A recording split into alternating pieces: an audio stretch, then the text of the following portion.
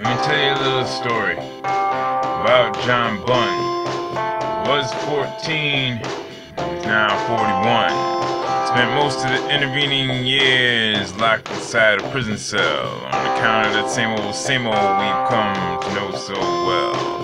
That old round up the closest black man and put him in jail. Police have a crime needs solving, that's a strategy that can't fail.